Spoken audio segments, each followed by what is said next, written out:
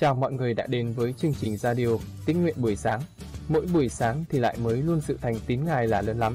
Lời Chúa là thức ăn thuộc linh cho chúng ta mỗi ngày để đắc thắng cám dỗ, tội lỗi xác thịt xung quanh chúng ta. Ngài bổ lại linh hồn bạn, dẫn bạn vào các lối công bình. Vì cớ danh Ngài, Chúa thêm sức mới cho bạn. Chúa thêm lên cho bạn đức tin. Mỗi ngày càng gần Chúa và giống Chúa hơn và có mối quan hệ mật thiết với Chúa mỗi ngày. Chúa yêu bạn rất nhiều Thi Thiên 62 Linh hồn tôi nghỉ an nơi một mình Đức Chúa Trời, sự cứu rỗi tôi từ Ngài mà đến. Một mình Ngài là hòn đá tôi, sự cứu rỗi tôi và là nơi ẩn náu cao của tôi, tôi sẽ chẳng bị rung động nhiều. Các ngươi xông vào một người cho đến chừng nào đặng chung nhau đánh đổ người như một cái vách nghiêng khác nào một rào hầu ngã Chúng nó chỉ bàn bạc đánh đổ người khỏi cao vị người. Họ ưa chuộng điều dối giả, lấy miệng mình chúc phước, nhưng trong lòng thì rủa xả. Hỡi linh hồn ta, hãy nghỉ an nơi Đức Chúa Trời, vì sự trông cậy ta ở nơi Ngài. Chỉ một mình Ngài là hòn đá tôi, sự cứu rỗi tôi và là nơi ẩn náu cao của tôi. Tôi sẽ chẳng bị rung động. Sự cứu rỗi và sự vinh hiển tôi ở nơi Đức Chúa Trời hòn đá về sức lực tôi và nơi nương náu mình cũng đều ở nơi Đức Chúa Trời. Hỡi ba tánh, khá nhờ cậy nơi Ngài luôn luôn, hãy dốc đổ sự lòng mình ra tại trước mặt Ngài. Đức Chúa Trời là nơi nương náu của chúng ta. Quả thật, người hạ lưu chỉ là hư không, người thượng đẳng chỉ là dối giả. Nhắc để trên cân, chúng nó chỏng lên, chúng nó hết thảy nhau đều nhẹ hơn sự hư không chớ nhờ cậy sự hài hiếp, cũng đừng để lòng trông cậy nơi sự trộm cướp, vì uổng công.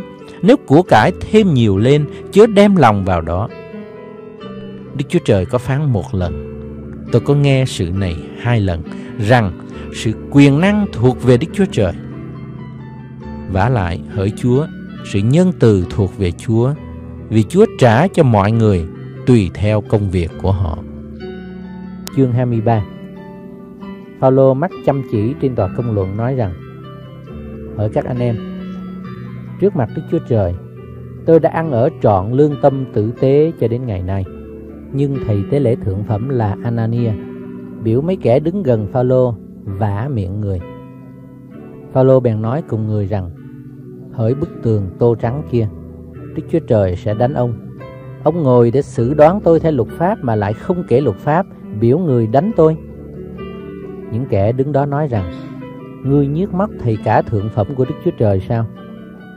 Phaolô trả lời rằng Hỡi anh em, tôi chẳng biết là thầy cả thượng phẩm Vì có chép rằng Chớ sỉ nhục người cai trị dân mình Phaolô biết trong bọn họ Phần thì người Sadduce Phần thì người Pharisee Bèn kêu lên trước tòa công luận rằng Hỡi anh em Tôi là người Pharisee Con của dòng Pharisee Ấy là vì sự trông cậy của chúng ta và sự sống lại của những kẻ chết mà tôi phải chịu sự đoán. Người vừa nói xong như vậy thì sự cãi lẫy nổi lên giữa người Pharisee với người Sadduce và hội đồng chia phe ra. Vì chân người Sadduce quyết rằng không có sự sống lại, cũng không có thiên sứ, thần chi hết, còn người Pharisee lại nhận cả hai điều tin ấy. Tiếng kêu la lớn liền dậy lên có mấy thầy thông giáo về dòng Pharisee đứng dậy cãi lẽ cùng kẻ khác rằng chúng ta chẳng thấy trong người này có điều ác gì. Nào ai biết chẳng phải thần hoặc thiên sứ đã nói cùng người. Vì sự rối loạn càng thêm, quản cơ Ephalo bị chúng phân thây chăng nên truyền quân kéo xuống đặng cướp người ra khỏi giữa đám họ và đem về trong đồn. Qua đêm sau, Chúa hiện đến cùng người mà phán rằng Hãy dục lòng mạnh mẽ Ngươi đã làm chứng cho ta tại thành Jerusalem thế nào, thì cũng phải làm chứng cho ta tại thành Roma thể ấy. Đến sáng, người Juda họp đảng lập mưu mà thề nguyện rằng chẳng ăn chẳng uống cho đến giết được Phaolô. Có hơn 40 người đã lập mưu đó. Họ đến kiếm các thầy tế lễ cả và các trưởng lão mà rằng Chúng tôi đã thề với nhau rằng chẳng ăn chi hết cho đến lúc giết được Phaolô. Vậy bây giờ các ông với tòa công luận hãy xin quản cơ bắt nó đến đứng trước mặt các ông như là muốn tra xét việc nó cho kỹ càng hơn nữa. Còn chúng tôi sửa soạn sẵn, để khi nó chưa đến đây thì giết đi. Nhưng có con trai của chị Phaolô biết được mưu gian ấy, đến nơi đồn vào nói trước cho Phaolô. Phaolô bèn gọi một đội trưởng mà nói rằng: Hãy đem gã trai trẻ này đến cùng quan quản cơ, chàng có việc muốn báo tin. Vậy, đội trưởng đem chàng đi, dẫn đến nhà quản cơ và thưa rằng: Tin tù Phaolô có gọi tôi biểu đem gã trai trẻ này đến cùng quan, chàng có việc muốn nói. Quản cơ nắm tay người trai trẻ kéo xe ra hỏi rằng Ngươi có việc gì báo tin cùng ta?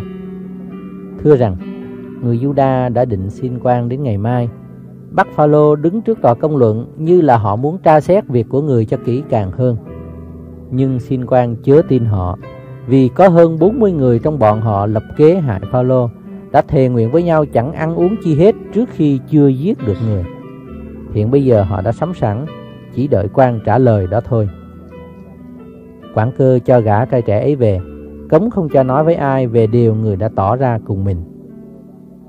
Đoạn, quản cơ đòi hai viên đội trưởng dặn rằng, vừa giờ thứ ba đêm nay, hãy sắm sẵn 200 quân, 70 lính kỵ, 200 lính cầm giáo, đặng đi đến thành Caesare.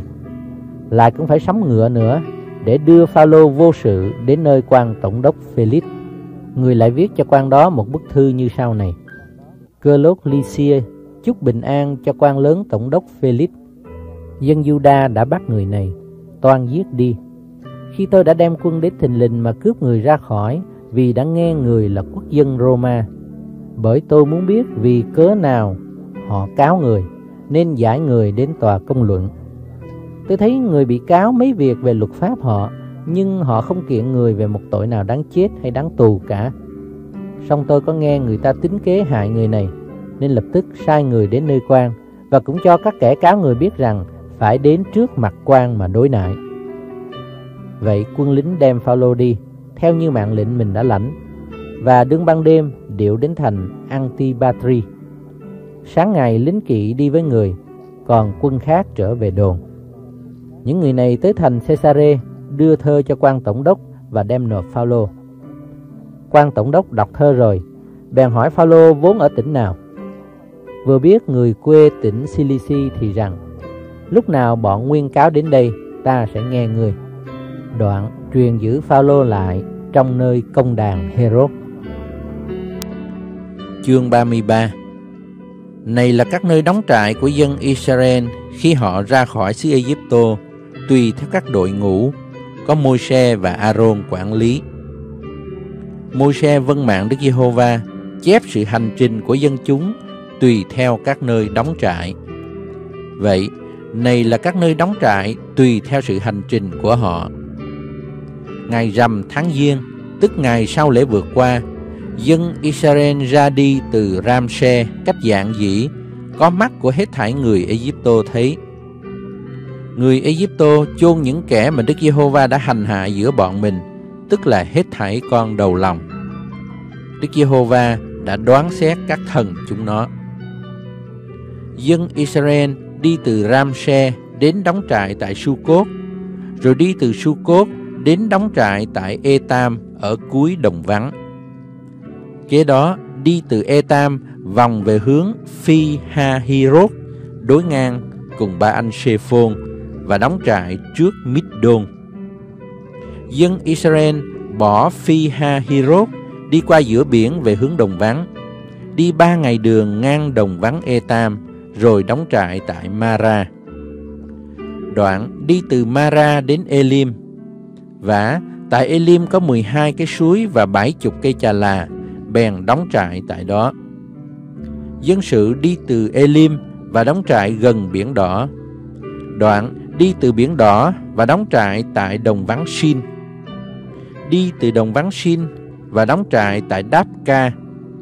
Đi từ Đáp Ca và đóng trại tại A Lúc, đi từ A Lúc và đóng trại tại Rephidim là nơi không có nước cho dân sự uống.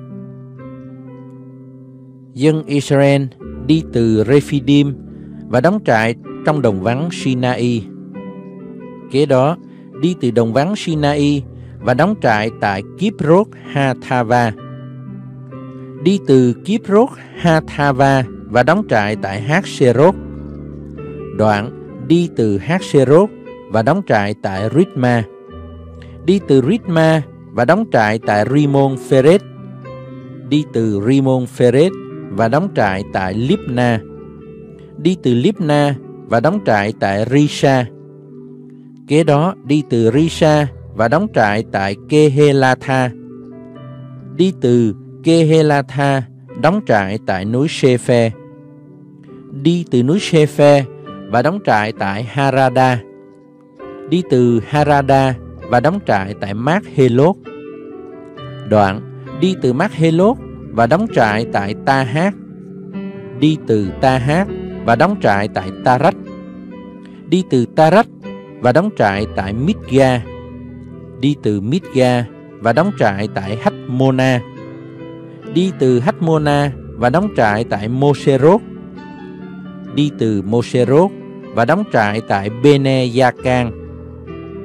Đi từ Bene Yakan và đóng trại tại Hogigat. Đi từ Hogigat và đóng trại tại Yốt Ba Tha. Đi từ Yốt Ba Tha và đóng trại tại Abrona. Đoạn đi từ Abrona và đóng trại tại Esion Gebe. Đi từ Esion Gebe và đóng trại tại đồng vắng Sin, nghĩa là tại Kade. Kế đó đi từ Kade và đóng trại tại núi Horơ ở chót đầu xứ Edom. Aaron, thầy tế lễ, theo mạng Đức Giê-hô-va lên trên núi Horơ, rồi qua đời tại đó, nhằm ngày mùng 1 tháng 5 năm thứ 40 sau khi dân Israel đã ra khỏi xứ Egypto. Khi Aaron qua đời trên núi Horơ, người đã được 123 tuổi. Bây giờ, vua Arad là người Canaan ở miền nam xứ Canaan hay rằng dân Israel đến. Dân Israel đi từ núi Horơ và đóng trại tại Samona. Đi từ Samona và đóng trại tại Phunon. Đi từ Phunon và đóng trại tại Obot. Kế đó, đi từ Obot và đóng trại tại Iye Abarim trên bờ cõi Moab. Đi từ Iye Abarim và đóng trại tại Dibon Gác. Đi từ Dibon Gác và đóng trại tại Anh Môn Diplathaim.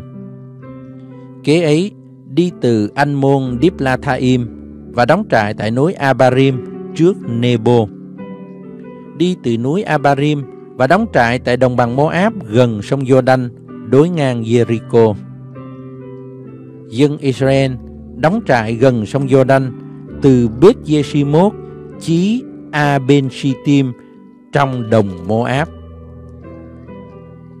Đức Giê-hô-va phán cùng Mô-se, trong đồng Mô-áp gần sông Jordan đối ngang Jericho mà rằng, Hãy truyền cùng dân Israel mà rằng, Khi nào các ngươi đã đi ngang qua sông Jordan đặng vào xứ Canaan rồi, Thì phải đuổi hết thảy dân của xứ khỏi trước mặt các ngươi, Phá hủy hết thảy hình tượng chạm và hình đúc Cùng đạp đổ các nơi cao của chúng nó. Các ngươi sẽ lãnh xứ làm sản nghiệp Và ở tại đó.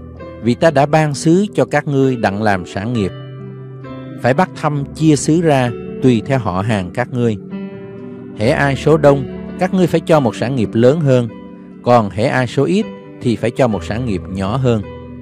Mỗi người sẽ nhận lãnh phần mình bắt thăm được. Phải cứ những chi phái tổ phụ các ngươi mà chia xứ ra. Còn nếu các ngươi không đuổi dân của xứ khỏi trước mặt mình, thì những kẻ nào trong bọn họ mà các ngươi còn chừa lại sẽ như gai trong con mắt và như chông nơi hông các ngươi chúng nó sẽ theo bắt giết các ngươi tại trong xứ các ngươi ở. Rồi xảy đến, ta sẽ hành hại các ngươi, khác nào ta đã toan hành hại chúng nó vậy. Chương 34 Đức Giê-hô-va lại phán cùng Môi-se rằng Hãy truyền điều này cho dân Israel mà rằng các ngươi sẽ vào xứ Canaan đặng lãnh xứ làm sản nghiệp Tức là xứ Canaan khắp bốn bề Miền Nam sẽ thuộc về các ngươi Từ đồng vắng xin chạy dài theo Edom. Ấy vậy, giới hạn của các ngươi về phía nam sẽ chạy từ đầu biển mặn về bên hướng đông. Giới hạn này chạy vòng phía nam của núi Ạc Rabbim, đi ngang về hướng Sin và giáp phía nam Kade Banea, đoạn chạy qua Hát Sa Ác Đa và đi ngang hướng Ác Môn. Từ Ác Môn, giới hạn chạy vòng về lối suối Egypto và giáp biển. Còn về giới hạn phía Tây, thì các ngươi sẽ có biển lớn dùng làm hạn. Ấy sẽ là giới hạn về phía Tây. Này là giới hạn của các ngươi về phía Bắc. Từ biển lớn, các ngươi sẽ chấm núi Horơ làm hạn. Từ núi Horơ, các ngươi sẽ chấm tại đầu Hamat làm hạn. Rồi giới hạn sẽ giáp tại Sedat. Giới hạn sẽ chạy về hướng Sipron và ăn cuối Hát Sa Enan. Đó là giới hạn của các ngươi về phía Bắc. Phía Đông, các ngươi sẽ chấm ranh mình từ Hát Sa Enan tới Shepham, rồi chạy từ Shepham xuống đến Ripla về hướng đông của Ain, đoạn chạy xuống và giáp gần biển Kinneret về phía đông. Rốt lại, giới hạn sẽ chạy xuống về phía sông Jordan và giáp biển mặn. Đó là xứ các ngươi sẽ có, cùng các giới hạn nó xung quanh vậy. Môi-se bèn truyền lệnh này cho dân Israel mà rằng, ấy đó là xứ các ngươi sẽ bắt thăm chia ra mà Đức Giê-hô-va đã phán dặn cho chín chi phái và phân nửa của một chi phái. Vì chi phái con cháu Ruben tùy theo tông tộc mình và chi phái con cháu Gác tùy theo tông tộc mình, cùng phân nửa chi phái Manasseh đã lãnh phần sản nghiệp mình rồi. Hai chi phái và nửa chi phái này đã nhận lãnh sản nghiệp mình ở phía bên kia sông Jordan, đối ngang Jericho về hướng đông, tức về phía mặt trời mọc. Đức Giê-hô-va lại phán cùng Môi-se rằng: Đây là tên những người sẽ đứng chia xứ. Eleasa thầy tế lễ và Joshua con trai Nun. Các ngươi cũng phải cứ mỗi chi phái chọn một quan trưởng đặng chia xứ ra. Đây là tên các người đó. Về chi phái Juda, Caleb con trai Jephune. Về chi phái con cháu Simeon, Shemuel con trai Ahimut; Về chi phái Benjamin, Elidat con trai Kitlon. Về chi phái con cháu Dan, một quan trưởng tên là Buki, con trai Dốc-ly. Về con cháu Joseph, về chi phái con cháu Manasseh, một quan trưởng tên là Hanien, con trai Ephat, Và về chi phái con cháu Ephraim, một quan trưởng tên là Kemuel, con trai Shiptan. Về chi phái con cháu Sabulon, một quan trưởng tên là Elishaphan, con trai Phát Nát. Về chi phái con cháu Isaka, một quan trưởng tên là Phatien, con trai Asan. Về chi phái con cháu Ashe, một quan trưởng tên là Ahihud, con trai Shelumi. Và về chi phái con cháu Nephtali, một quan trưởng tên là Phedaen, con trai Amihud. Đó là những người mà Đức Giê-hô-va phán biểu đứng chia sản nghiệp cho dân Israel trong xứ Canaan. Chương 35 Đức Giê-hô-va phán cùng Môi-se trong đồng Mô-áp gần sông Giô-đanh đối ngang Jericho mà rằng, Hãy biểu dân Israel do trong phần sản nghiệp mình đã có, nhường những thành cho người Lê-vi đặng ở, cho luôn một miếng đất ở chung quanh các thành đó. Người Lê-vi sẽ có những thành đặng ở còn đất chung quanh các thành này sẽ dùng cho súc vật, cho sản vật và cho hết thảy thú vật của họ. Đất chung quanh thành mà các ngươi nhường cho người Lê-vi sẽ là một ngàn thước châu vi kể từ vách thành và ở ngoài. Vậy các ngươi phải đo phía ngoài thành về hướng đông hai ngàn thước, về hướng nam hai ngàn thước, về hướng tây hai ngàn thước và về hướng bắc hai ngàn thước. Cái thành sẽ ở chính giữa. Đó sẽ là đất của những thành người Lê-vi. Trong số thành các ngươi sẽ nhường cho người Lê-vi sẽ có sáu cái thành ẩn náu mà các ngươi phải chỉ cho để kẻ sát nhân trốn tránh tại đó. Ngoài sáu thành đó, các ngươi phải nhường cho người Lê-vi 42 cái thành. Hết thảy thành các ngươi sẽ nhường cho người Lê-vi luôn với đất, số là 48 cái. Về những thành do trong sản nghiệp của dân Israel mà các ngươi sẽ nhường cho người Lê-vi, phải lấy bớt nhiều hơn của chi phái có nhiều và lấy bớt ít hơn của chi phái có ít. Mỗi chi phái nhường cho người Lê-vi những thành cân phân theo sản nghiệp của mình sẽ được. Đoạn Đức Giê-hô-va phán cùng Môi-se rằng: Hãy nói cùng dân Israel rằng: Khi nào các ngươi đã đi qua sông Giô-đanh đặng vào xứ Canaan, thì phải lựa những thành dùng làm thành ẩn náu cho mình, là nơi kẻ sát nhân vì vô ý đánh chết ai chạy ẩn náu mình được. Những thành đó sẽ dùng làm thành ẩn náu để trốn khỏi kẻ báo thù huyết, hầu cho kẻ sát nhân không chết, cho đến chừng nào ứng hầu trước mặt hội chúng đặng chịu xét đoán. Vậy, trong những thành các ngươi nhường cho, sẽ có sáu thành ẩn náu cho các ngươi. Các ngươi phải chỉ ba thành phía bên kia sông Jordan và lập ba thành khác trong xứ Canaan. Ấy sẽ là những thành ẩn náu. Sáu thành này sẽ dùng làm chỗ ẩn náu cho dân Israel, luôn cho khách ngoại bang và kẻ nào kiêu ngụ ở trong dân đó, để ai vì vô ý đánh chết một người, có thế chạy ẩn mình tại đó. Nhưng nếu người ấy đánh bằng đồ sắt và người bị đánh chết đi, ấy là một kẻ sát nhân. Kẻ sát nhân hẳn phải bị xử tử. Nếu người đánh bằng một cục đá cầm nơi tay có thế làm chết, và người bị đánh chết đi, ấy là một kẻ sát nhân. Kẻ sát nhân hẳn phải bị xử tử. Cũng vậy, nếu người đánh bằng đồ cây cầm nơi tay có thể làm chết, và người bị đánh chết đi, ấy là một kẻ sát nhân. Kẻ sát nhân hẳn phải bị xử tử. Ấy là kẻ báo thù huyết, sẽ làm cho kẻ sát nhân phải chết. Khi nào kẻ báo thù huyết gặp kẻ sát nhân thì phải làm cho nó chết đi. Nếu một người nào vì lòng ganh ghét xô lấn một người khác hay là cố ý liện vật chi trên mình nó và vì cớ đó nó bị chết hoặc vì sự thù đánh bằng bàn tay và vì cớ đó nó bị chết thì người nào đánh đó hẳn phải bị xử tử. Ấy là một kẻ sát nhân, người báo thù huyết khi nào gặp kẻ sát nhân phải làm cho nó chết đi. Nếu vì tình cờ vẫn hòa thuận nhau Mà người có lấn xô hoặc liện vật chi trên mình người kia hoặc nếu không phải thù nghịch chẳng có ý làm hại, Lại không thấy mà làm rớt một cục đá trên mình người kia, Có thể làm chết được. Và nếu người chết đi, Thì cứ theo luật lệ này, Hội chúng phải xử đoán cho kẻ đã đánh Và kẻ báo thù huyết.